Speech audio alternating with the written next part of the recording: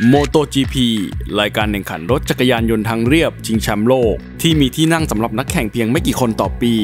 ทำให้การแข่งขันเข้มข้นไม่แพ้ทางฝั่งฟุมล่าวันเลย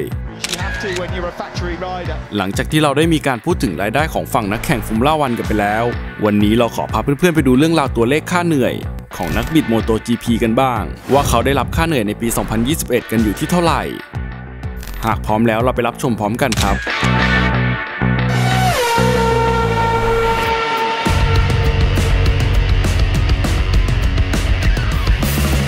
สวัสดีเพื่อนที่น่ารักทุกคนยินดีต้อนรับเข้าสู่ Reflect Channel ช่องที่จะรวบรวมเรื่องราวต่างๆเกี่ยวกับการมอเตอร์สปอร์ตมาเล่าให้กับเพื่อนได้ฟังกัน อย่าลืมกดไลค์ Subscribe และกระดิ่งแจ้งเตือนเพื่อที่จะไม่พลาดคลิปใหม่จากทางช่องเรานะครับ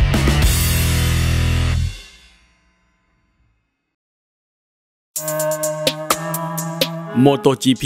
หนึ่งในรายการกีฬามอเตอร์สปอร์ตประเภท 2 ล้อ ที่มีความเสี่ยงที่จะเกิดอุบัติเหตุ และเป็นอันตรายต่อชีวิตนักแข่ง การอยู่บนตัวรถ ที่วิ่งด้วยความเร็ว 300 กิโลเมตรต่อชั่วโมง และไม่ได้มีห้องนักขับห่อหุ้มเหมือนกับนักแข่งสี่ล้อ ยิ่งเพิ่มความอันตรายมากขึ้นไปอีกถึงแม้ว่าจะมีเทคโนโลยีอุปกรณ์ safety ที่ก้าวหน้าไปมากแค่ไหน แต่เมื่อเกิดอุบัติเหตุขึ้น อย่างน้อยๆ นักแข่งต้องได้รับการกระทบกระเทือนต่อร่างกายอย่างแน่นอน ด้วยความเสี่ยงขนาดนี้ บวกกับที่นั่งในทีมที่มีอยู่อย่างจำกัด ทำให้ค่าตอบแทนของนักแข่งก็ต้องได้รับอย่างคุ้มค่าเช่นเดียวกัน โดยค่าแรงหรือเงินที่นักบิดแต่ละคนจะได้นั้น จะถูกระบุอยู่ในสัญญาที่นักแข่งและทีมแข่งต้องตกลงกัน โดยจะเป็นรายได้ต่อปีที่ไม่ได้รวมรายได้จากสปอนเซอร์ต่างๆ ที่มีเข้ามาสนับสนุนนักแข่งแต่ละคน หรือจะพูดให้เข้าใจง่าย ๆ เงินก้อนนี้ก็เปรียบเสมือนเงินเดือน ที่ถูกรวบยอดมาจ่ายทีเดียวในแต่ละปีใครได้รับค่าเหนื่อยกันเท่าไหร่บ้าง วันนี้เราไล่เรียงไปทีละคนกันเลยครับ เริ่มจากนักบิดที่ได้รับค่าเหนื่อยมากที่สุดในปี 2021 นี้กันก่อนเลย โดยมาร์คมาร์เกซ แชมป์โลก 8 สมัย เด็กระเบิดจากทีม Repsol Honda ปัจจุบันเขารับค่าเหนื่อยอยู่ที่ 12 ล้านเหรียญดอลลาร์สหรัฐ หรือประมาณ 390 ล้านบาทต่อปี ซึ่งถ้าหากเราจะจับมาตัดแบ่งเป็นค่าเหนื่อยแต่ละสนามตลอดทั้งฤดูกาล มาร์คจะได้รับค่าเหนื่อยอยู่ที่ประมาณ 631,000 เหรียญดอลลาร์สหรัฐ หรือราวๆ 20 ล้านบาท ต่อการลงแข่งหนึ่งสนาม ถัดมานักบิดขวัญใจชาวสองล้อ อย่างพ่อหมอวาเลนติโน รอสซี่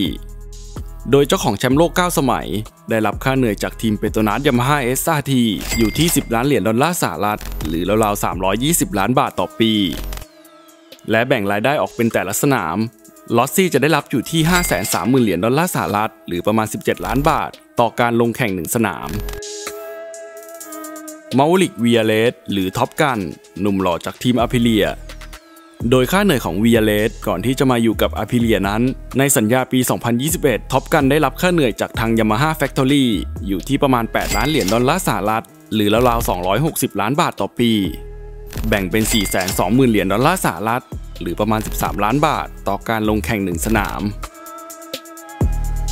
ถัดมาแชมป์โลกหนึ่งสมัยในปี 2020 โจอันเมีย โดยเมียรับค่าเหนื่อยจากทางซูซูกิอยู่ที่ประมาณ 6 ล้านเหรียญดอลลาร์สหรัฐ ซึ่งแปลงเป็นเงินไทยได้ราวๆ 190 ล้านบาทต่อปี โดยแบ่งออกเป็นรายได้แต่ละสนามอยู่ที่ประมาณ 316,000 เหรียญดอลลาร์สหรัฐ หรือราวๆ 10 ล้านบาท นักแข่งคนต่อไปโปล เอสปาร์กาโร คู่หู teammate ของมาร์คมาร์เกซ ในสังกัดทีม Repsol Honda โดยโปล รับค่าเหนื่อยต่อปีอยู่ที่ประมาณ 3ล้าน5แสนเหรียญดอลลาร์สหรัฐ หรือราวๆ114 ล้านบาท แบ่งเป็น 185,000 เหรียญดอลลาร์สหรัฐ หรือประมาณ 6 ล้านบาท ต่อการลงแข่งหนึ่งสนาม ถัดมานักแข่งหนุ่มผมหยิกฟรังโก มอร์บิเดลลี่โดยค่าเหนื่อยในสัญญาปี 2021 ในทีม Petronas Yamaha SRT ก่อนที่เขาจะขึ้นมาทีมโรงงานนั้น แฟรงกี้ รับค่าเหนื่อยอยู่ที่ประมาณ 3 ล้านเหรียญดอลลาร์สหรัฐ หรือราวๆ 98 ล้านบาทต่อปี แบ่งเป็น 158,000 เหรียญดอลลาร์สหรัฐ หรือราวๆ 5 ล้านบาท ต่อการลงแข่งหนึ่งสนาม ต่อไป อเล็กลิน นักบิดจากทีมซูซูกิโดยรินรับค่าเหนื่อยอยู่ที่ประมาณ2ล้าน5แสนเหรียญดอลลาร์สหรัฐ หรือราวๆ 82 ล้านบาทต่อปี และแบ่งเป็น 132,500 เหรียญดอลลาร์สหรัฐ หรือราวๆ4ล้าน3แสนบาท ต่อการลงแข่งหนึ่งสนาม ถัดมานักบิดเจ้าของฉายา El Diablo แชมป์โลกในปีนี้ปี 2021 ฟาบิโอ ควาร์ตาราโร จากสังกัดทีม Yamaha Factory โดยเจ้าแฟ็บ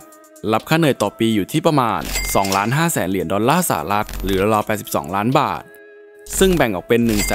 132,500 เหรียญดอลลาร์สหรัฐ หรือราวๆ4ล้าน3แสนบาท ต่อการลงแข่งหนึ่งสนาม โจฮันซาร์โก้ นักบิดจากทีม Pramac Ducati โดยซาร์โก้รับค่าเหนื่อยอยู่ที่ 2 ล้านเหรียญดอลลาร์สหรัฐ หรือราวๆ 65 ล้านบาทต่อปี แบ่งเป็น 15,000 เหรียญดอลลาร์สหรัฐ หรือ 3 ล้าน4แสนบาท ต่อการที่เขาลงแข่งหนึ่งสนาม ต่อมานักบิดจากทีม Ducati Factory แจ็คมิลเลอร์ โดยมิลเลอร์รับค่าเหนื่อยจาก Ducati อยู่ที่ประมาณ 1 ล้านเหรียญดอลลาร์สหรัฐหรือราวๆ32 ล้านบาทต่อปี แบ่งออกเป็น 52,500 เหรียญดอลลาร์สหรัฐหรือ1ล้าน7แสนบาท ต่อการที่เขาลงแข่งหนึ่งสนาม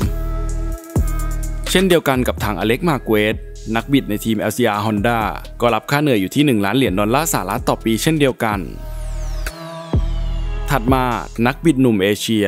ทากาอากิ นาคากามิ สังกัดทีม LCR Honda โดยนาคากามิรับค่าเหนื่อยต่อปีอยู่ที่ประมาณ 750,000 เหรียญดอลลาร์สหรัฐ หรือราวๆ 24 ล้านบาท แบ่งออกเป็น 45,000 เหรียญดอลลาร์สหรัฐ หรือ1ล้าน4แสนบาท ต่อการลงแข่งหนึ่งสนาม เช่นเดียวกันกับทางฟรานเชสโกบันยาย่าจากทีม Ducati Factory ก็ได้รับค่าเหนื่อยต่อปีอยู่ที่ 750,000 เหรียญดอลลาร์สหรัฐเช่นเดียวกันถัดมาอเล็กซ์ เอสปาร์กาโร นักบิดทีม Aprilia Gresini โดยเขารับค่าเหนื่อยอยู่ที่ 500,000เหรียญดอลลาร์สหรัฐ หรือราวๆ 16 ล้านบาทต่อปี แบ่งออกเป็น 26,500 เหรียญ หรือ 870,000 บาท ต่อการที่เขาลงแข่งหนึ่งสนาม ดานิโล เปลุชีสังกัดทีม Tech 3 KTM โดยเปลุชีได้รับค่าเหนื่อยอยู่ที่ราวๆ 475,000 เหรียญดอลลาร์สหรัฐ หรือราวๆ 15 ล้านบาทต่อปี ส่วนมิเกลโอลิเวล่าจาก Red Bull KTM ได้รับค่าเหนื่อยอยู่ที่400,000เหรียญดอลลาร์สหรัฐหรือราวๆ 13 ล้านบาทต่อปี ส่วนทางด้าน rookie หน้าใหม่ อย่างจอร์เก้มาร์ติน จากทีม Pramac Ducati โดยมาร์ตินได้รับค่าเหนื่อยต่อปีอยู่ที่ประมาณ 350,000 เหรียญดอลลาร์สหรัฐหรือราวๆ 11 ล้านบาท เช่นเดียวกันกับเอเนียบาสเตียนินี จากทีมแข่ง Ducati Avintia Esponsorama ก็ได้รับค่าเหนื่อยอยู่ที่ 350,000 เหรียญดอลลาร์สหรัฐหรือราวๆ11 ล้านบาทต่อปีเช่นเดียวกัน ส่วนลูก้ามารินีทีมเมดและแบรดบินเดอร์จากทีมเลดบู KTM สองคนนี้ได้รับค่าเหนื่อยต่อปีอยู่ที่ 280,000 เหรียญดอลลาร์สหรัฐหรือประมาณ9ล้าน1แสนบาท สุดท้ายอิเกร์เลโกนาจาก Tech 3 KTM โดยเลโกนา ได้รับค่าเหนื่อยอยู่ที่ราวๆ2แสนเหรียญหรือประมาณ6ล้าน5แสนบาทต่อปี โดยจำนวนเงินทั้งหมด เป็นจำนวนเงินที่นักแข่งจะได้รับตามสัญญาในแต่ละปีที่ตกลงกัน และอาจจะมีโบนัสเพิ่มเติมเข้ามาอีก หากในปีนั้นๆ พวกเขาสามารถทำผลงานได้ดี และต้องบอกได้เลยว่า เป็นจำนวนยอดเงินที่สูงมากๆเลยทีเดียว กับการทำงาน 1 ปี จึงไม่แปลกใจว่าทำไมการแข่งขันเพื่อแย่งชิงพื้นที่ในเก้าอี้ทีมแข่งถึงได้เข้มข้นกันเหลือเกิน และถ้าหากจะพูดถึงนักบิดที่ทำเงินต่อปีได้สูงที่สุด วัดจากรายได้ที่เข้ามาทุกช่องทางตำแหน่งนี้คงหนีไม่พ้นพ่อหมอวาเลนติโนรอสซี่ชายผู้มีผลิตภัณฑ์ และแบรนด์ต่างๆ เข้ามาสนับสนุนอย่างมากมาย รวมถึงสินค้าที่วางขายภายใต้แบรนด์ VR46 ของเขาเองด้วย โดยว่ากันว่ารอสซี่อาจทำรายได้สูงสุดต่อปี ได้มากกว่าร้อยล้านเหรียญต่อปีกันเลยทีเดียว สุดท้ายก่อนไปฝากเพื่อนๆกดไลค์ Subscribe และกระดิ่งแจ้งเตือน เพื่อที่จะไม่พลาดคลิปใหม่ๆจากทางช่องเรานะครับสำหรับเรื่องราวในวันนี้มีเพียงเท่านี้ แล้วพบกันใหม่ในคลิปหน้า สวัสดีครับ